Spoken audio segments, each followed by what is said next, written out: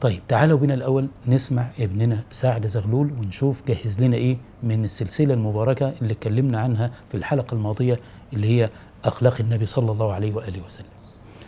آه قول لي يا سعد مجهز لنا إيه النهاردة من السلسلة؟ سلسلة أخلاقنا على نهج رسول الله الموضوع الثاني منها خلق الصدق. صدق آه ما شاء فما الله. أحوج الأمة إليه الآن. أحسنت أحسنت. فعلا والله كلنا نحتاج إلى الصدق. ونجدد ال- الاستقامة والصدق ونجدد الإيمان مع رب الإيمان. الله الله الله.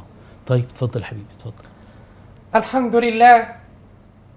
الحمد لله الذي زين قلوب أوليائه بأنوار الوفاق وسقى أسرار أحبائه شراب لذيذ المذاق وألزم قلوب الخائفين الوجل والإشفاق فلا يعلم الإنسان في أي الدواوين كتب ولا في أي الفريقين يساق. فإن سامح فبفضله وإن عاقب فبعدله ولا اعتراض على الملك الخلاق. وأشهد أن لا إله إلا الله وحده لا شريك له.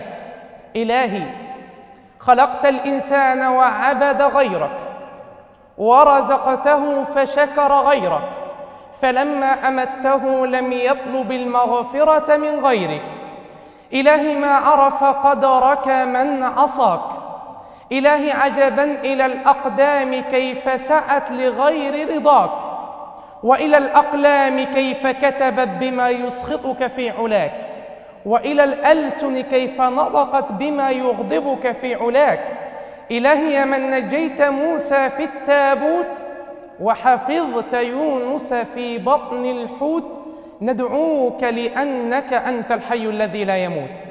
وأشهد أن سيدنا وشفيعنا وحبيبنا وقائدنا وقدوتنا سيد الخلق سيدنا محمد.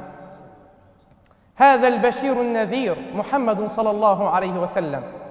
الشوق حركني بغير تردد والشعر أبحر في غرام محمد. فإذا مدحت محمدا بقصيدتي فلقد مدحت قصيدتي بمحمد. شرف اللسان بذكر أحمد سيدي فبذكره تكفى الهموم ونهتدي. وإلهنا أوصى فهيا رددوا يا رب صل على النبي محمد. اللهم صل وسلم وزد وبارك عليه صلاة إلى يوم اللقاء. ثم أما بعد أيها المشاهدون الكرام أحباب رسول الله صلى الله عليه وسلم خلق جديد من أخلاق السلسلة الطيبة المباركة أخلاقنا على نهج رسول الله. خلق جليل عظيم كبير رقيق رقراق وضاء إنه خلق الصدق. فما أحوج الأمة الآن إلى الصدق. نسأل الله العظيم رب العرش الكريم أن يرد البشرية عامة والأمة خاصة إلى الصدق وأهله إنه ولي ذلك والقادر عليه. أحبتي في الله الصدق هو الطريق الأقوم ومن لم يسر عليه فهو من المنقطعين الهالكين. فالصدق هو سيف الله في أرضه. الذي ما وضع على شيء إلا قطعه وما واجه باطلا إلا أرده وصرعه. من صال بالصدق لا ترد صولته ومن نطق بالصدق علت على الخصوم كلمته. ومن أجل ذلك أرشدنا ربنا تبارك وتعالى إلى التمسك بهذا الخلق الطيب الكريم في القرآن الكريم فاسمع يا عبد الله ماذا قال رب العالمين. قال ربنا جل وعلا يا أيها الذين آمنوا اتقوا الله وكونوا مع الصادقين. فهذا أمر بملازمة الصدق بعد الأمر بالتقوى. ولقد أمر الله رسوله الكريم أن يسأله أن يجعل مدخله على الصدق ومخرجه على الصدق. فقال وقل رب أدخلني مدخل صدق وأخرجني مخرج صدق واجعل لي من لدنك سلطانا نصيرا. فأين الصدق الآن؟ أين الصادقين؟ فأنا لا أعلم زمانا. قد كفن فيه الصدق ودفن كهذا الزمان. ولا أعلم زمانا. انتشر فيه الكذب بهذه الصورة الفجئة المؤلمة كهذا الزمان. الحقيقة أنك لا ترى من الصدق وأهله إلا القلة. اللهم اجعلنا منهم بمنك وكرمك يا رب العالمين. اسمع ماذا قال الله في هذه القلة الطيبة المباركة المؤمنة الصادقة. قال ربنا جل وعلا إلا الذين آمنوا وعملوا الصالحات وقليل ما هم. وقال جل وعلا وقليل من عبادي الشكور وقال جل وعلا في هذه القلة المباركة وإن تطع أكثر من في الأرض يضلوك عن سبيل الله فالقلة هي التي تتبع الهدى وتأخذ بيدك إلى سبيل الله. كانت أمتنا أيها الأفاضل أعز الأمم وأشرف الأمم وأكرم الأمم حين حولت الصدق في الأقوال والأعمال والأحوال إلى منهج حياة. نعم يوم أن رباهم المصطفى على الصدق. والله لو عدنا إلى التاريخ لرأينا العجب العجاب. كان حاكم هذه الأمة أصدق حكام الأرض وكان عالم هذه الأمة أصدق علماء الأرض وكان تاجر هذه الأمة أصدق تجار الأرض. لماذا؟ لأن الصادق الذي لا ينطق عن الهوى قد رباهم على الصدق. كيف يكذب أحدهم؟ وهو الصادق الذي حرم عليه الكذب في النيات بل وفي خائنة الأعين. يا الله الله أكبر. لذا روى النسائي وغيره بسند صحيح أن عثمان بن عفان رضي الله عنه وأرضاه جاء بعبد الله بن سعد بن أبي الصرح. وكان النبي صلى الله عليه وسلم قد أهدر دمه. يعني أمر النبي صلى الله عليه وسلم أصحابه أن يقتلوا عبد الله بن سعد بن أبي الصرح حتى ولو وجدوه متعلقا بأسطار الكعبة. تصور معي أخي المسلم جرم هذا الرجل ليبيح النبي صلى الله عليه وسلم دمه وبهذه الطريقة الفجئة المؤلمة ومع ذلك وفوق كل ذلك جاء به عثمان بن عفان رضي الله عنه وأرضاه. عثمان الشيخ الوقور المهيب الذي احتل المكانة السامقة في قلب رسول الله. عثمان زوج ابنة رسول الله. عثمان الذي قال له النبي صلى الله عليه وسلم ذات يوم ما ضر عثمان ما فعل بعد اليوم. يأتي عثمان بن عفان رضي الله عنه وأرضاه بعبد الله بن سعد بن أبي الصرح. ويفاجأ النبي صلى الله عليه وسلم بالرجل أمام عينه وبين يديه ويقول له عثمان بيعت يا رسول الله. فنظر إليه النبي ثم أعرض عنه. وفي المرة الثانية قال عثمان بيعت يا رسول الله. فنظر إليه رسول الله ثم أعرض عنه. وفي المرة الثالثة مد الرسول صلى الله عليه وسلم يده بأبي هو وأمي وروحي صاحب الخلق العظيم وصاحب القلب الكبير مد النبي صلى الله عليه وسلم يده فبايع عبد الله بن سعد بن أبي الصرح ثم انصرف الرجل. فلما انصرف قال النبي للصحابة اسمع هذه التربية الفريدة من نوعها هذه المقولة التي قالها النبي لأصحابه. قال لهم أما كان فيكم رجل رشيد يقوم إلي هذا حيث رآني كففت يدي عن بيعته فيقتله. اسمع ماذا قالوا الصحابة بتلقائية وعفوية. قالوا وما يدرينا يا رسول الله ما في نفسك؟ هل أومت إلينا بعينك؟ يعني هل أشرت إلينا بعينك لنقتله؟ اسمع ماذا قال الصادق الذي لا ينطق عن الهوى. حينما رب أصحابه على ماذا رباهم وعلى هذه التربية كيف جاءت في أصل الإسلام؟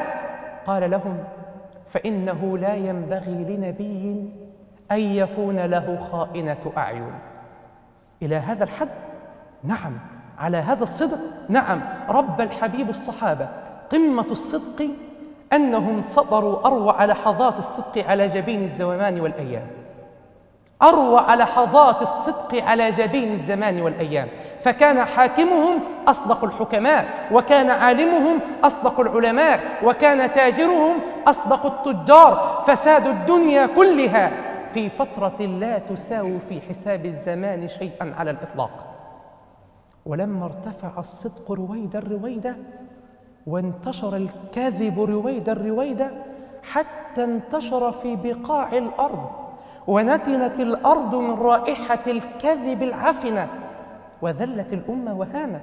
بل ووقعت البشرية كلها في هذا الضنك والشقاء الذي تحياه الآن بكافة أشكاله وأصنافه وألوانه وهي في أمس الحاجة. إلى أن تظلل سماءها من جديد بصحب الصدق البيضاء الصافية الناقية. نسأل الله العظيم رب العرش الكريم أن يرزقنا الصدق في الأحوال والأقوال والأعمال. ومن أجل ذلك أحباب رسول الله صلى الله عليه وسلم حرم الله الكذب وحث على الصدق وأحب الصادقين. ولو تتابعنا القرآن الكريم لوجدنا أن الله سبحانه وتعالى ذم الكذب وحرمه في أكثر من 280 آية.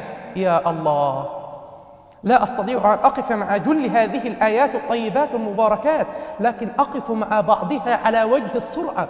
قال ربنا جل وعلا إنما يفتري الكذب الذين لا يؤمنون بآيات الله وأولئك هم الكاذبون. وقال جل وعلا ويوم القيامة ترى الذين كذبوا على الله. اسمع كده ماذا قال الله في شأنهم؟ وجوههم مسودة أليس في جهنم مثوى للمتكبرين؟ وقال جل وعلا ومن الناس من يقول آمنا بالله وباليوم الآخر وما هم بمؤمنين. يخادعون الله والذين امنوا وما يخدعون الا انفسهم وما يشعرون في قلوبهم مرض. فزادهم الله مرضا. ولهم عذاب اليم بما كانوا يكذبون. وعندما حث على الصدق. واحب الصادقين. اسمع ماذا قال رب العالمين في القرآن الكريم وهو أصدق القائلين قال ربنا جل وعلا من المؤمنين رجال. صدقوا ما عاهدوا الله عليه فمنهم من قضى نحبه ومنهم من ينتظر وما بدلوا تبديلا. لماذا؟ ليجزي الله الصادقين بصدقهم. ويعذب المنافقين إن شاء أو يتوب عليهم. إن الله كان عليما حكيما. وقال جل وعلا يا أيها الذين آمنوا اتقوا الله وكونوا مع الصادقين. فمن أخصب تحير وليس من أخصب تخير. أخي المسلم اعلم أن الصدق هو المحك الحقيقي بين الإيمان والنفاق. نعم المنافق كذاب. من يكذب في أقواله وأعماله وأحواله فليعلم يقينا أنه من المنافقين بشهادة من؟ بشهادة الصادق الامين كما قال صلى الله عليه وسلم كما في الصحيحين من حديث أبي هريرة رضي الله عنه أن النبي صلى الله عليه وسلم قال آية المنافق ثلاث. إذا حدث كذب وإذا وعد أخلف وإذا تمن خان. اعلم أخي المسلم أن على هذه الأخلاقيات رب الحبيب الصحابة. فساد الدنيا كلها في فترة لا تساوي في حساب الزمان شيئا على الإطلاق. من علامات الصدق أن من علامات الصدق الاستعداد للآخرة. المؤمن الصادق يزرع ويعمل ويغرس في الدنيا وقلبه معلق بالآخرة. لماذا؟ لأنه يعلم يقينا أن دنياه مهما طالت فهي قصيرة ومهما عظمت فهي حقيرة لأن الليل مهما طال لا بد من طلوع الفجر ولأن العمر مهما طال لا بد من دخول القبر. ثمرة الصدق أعظم ثمرة يجنيها الصادقون هي رضا رب العالمين.